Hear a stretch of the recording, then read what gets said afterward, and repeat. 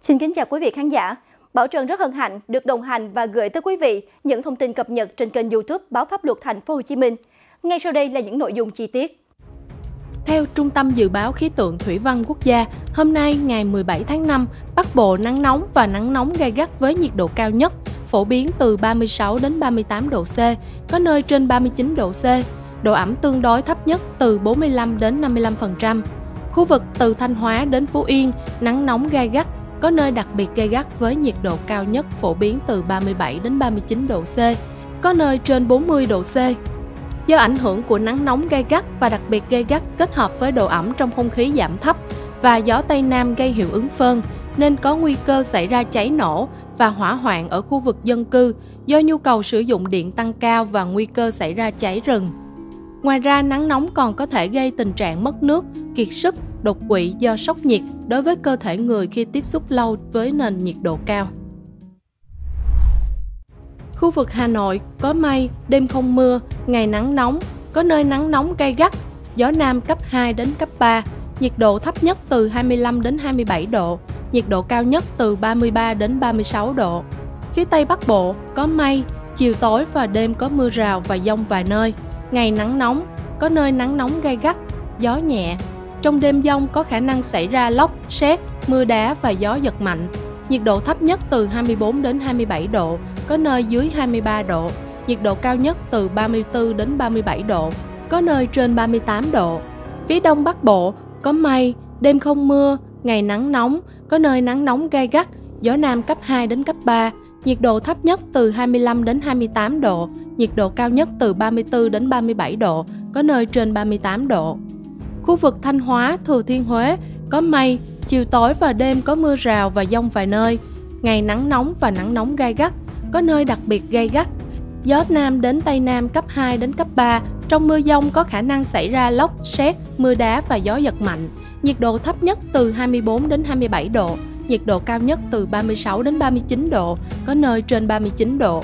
Khu vực Đà Nẵng đến Bình Thuận có mây, chiều tối và đêm có mưa rào và dông vài nơi, ngày nắng, có nơi có nắng nóng. Riêng phía Bắc có nắng nóng và nắng nóng gai gắt. Gió Nam đến Tây Nam cấp 2 đến cấp 3. Trong mưa dông có khả năng xảy ra lốc, sét, mưa đá và gió giật mạnh. Nhiệt độ thấp nhất từ 25 đến 28 độ, nhiệt độ cao nhất từ 32 đến 35 độ, có nơi trên 35 độ. Riêng phía Bắc từ 36 đến 38 độ, có nơi trên 38 độ. Tây Nguyên có mây, đêm có mưa rào và dông vài nơi, ngày nắng, gió nhẹ. Trong mưa dông có khả năng xảy ra lốc, sét, mưa đá và gió giật mạnh. Nhiệt độ thấp nhất từ 21 đến 24 độ, nhiệt độ cao nhất từ 29 đến 32 độ, có nơi trên 33 độ. Nam Bộ có mây, đêm có mưa rào và dông vài nơi, ngày nắng, có nơi có nắng nóng, gió nhẹ. Trong mưa dông có khả năng xảy ra lốc, sét, mưa đá và gió giật mạnh. Nhiệt độ thấp nhất từ 25 đến 28 độ, nhiệt độ cao nhất từ 32 đến 35 độ, có nơi trên 35 độ. Mùa hè nắng nóng khi làm việc dưới nắng gắt lâu sẽ có hại cho sức khỏe. Việc tiếp xúc với ánh nắng mặt trời quá nhiều tia UV cũng sẽ dẫn đến bị cháy nắng, nếp nhăn, lão hóa da sớm và tăng nguy cơ ung thư. Các tia có hại từ mặt trời còn gây nên các vấn đề về mắt, tổn thương ở mắt, có thể là tức thời hoặc lâu dài sau khi hấp thụ tia UV có trong ánh nắng mặt trời. Ở mi mắt, ánh nắng có thể gây nên một số loại u mi, đặc biệt là ung thư mi như ung thư biểu mô tế bào đáy, ung thư biểu mô tế bào vải và u hắc tố ác tính. Ngoài ra nếu tiếp xúc với ánh nắng nóng sẽ làm cơ thể ra nhiều mồ hôi, gây mất nước, điện giải, dễ dẫn đến rối loạn chuyển hóa, thậm chí đột quỵ do sốc nhiệt. Mùa nắng nóng ai cũng thích uống nước lạnh, nước đá để thỏa cơn khát và nóng bức. Tuy nhiên nếu uống nước quá lạnh có thể gây ra nhiều bệnh, đặc biệt là các bệnh về tiêu hóa. Theo nghiên cứu, nếu uống nước lạnh khi mới đi nắng về sẽ làm các mạch máu co lại, gây cản trở hệ tiêu hóa hoạt động. Những vấn đề thường gặp khi uống nước lạnh là đau bụng, buồn nôn, dạ dày khó chịu. Trên thực tế, khi chúng ta uống nước đá lạnh, nó không điều hòa với nhiệt độ cơ thể nên sẽ gây khó khăn cho chúng ta trong việc tiêu hóa thức ăn có trong dạ dày. Ngoài ra, uống nước lạnh có thể làm giảm nhịp tim, gây đau đầu và tăng nguy cơ viêm họng, đau họng. Do đó, mùa hè dù đi nắng về, chúng ta nên uống nước ở nhiệt độ mát vừa phải, không uống nước quá lạnh. Bên cạnh đó, với cái nóng oi ả, nhiều người không ra ngoài do lo sợ bị sốc nhiệt và ốm, thì lại chọn ngồi cả ngày trong phòng điều hòa. Điều này cũng không nên vì sẽ có hại cho sức khỏe, bởi ngồi trong phòng điều hòa quá lâu sẽ ảnh hưởng ít nhiều tới da và đường hô hấp. Chính vì vậy, nên sử dụng điều hòa một cách có chừng mực, thông thường là từ 3 đến 5 giờ đồng hồ mỗi ngày là tốt nhất.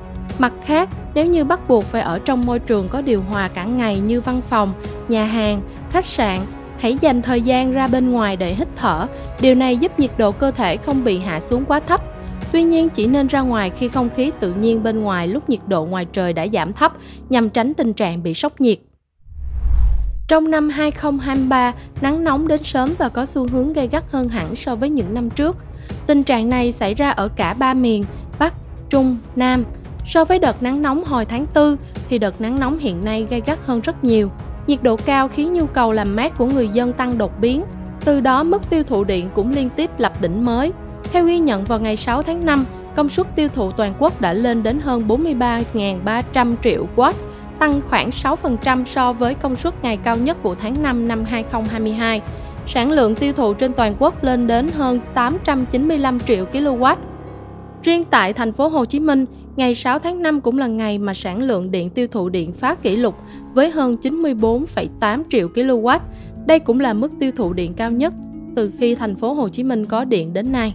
Bên cạnh đó, sau 4 năm giữ ổn định, Tập đoàn Điện lực Việt Nam đã điều chỉnh giá điện tăng 3% so với giá điện bán lẻ bình quân hiện hành, tức là tăng khoảng 55,9 đồng trên 1 kW từ ngày 4 tháng 5 năm 2023. Chính vì vậy, hóa đơn tiền điện luôn là vấn đề được người dân đặc biệt quan tâm trong thời gian gần đây. Trong đầu tháng 5 2023, tại các bãi biển ở Bình Thuận đã liên tục xảy ra nhiều vụ đuối nước khiến 5 người tử vong.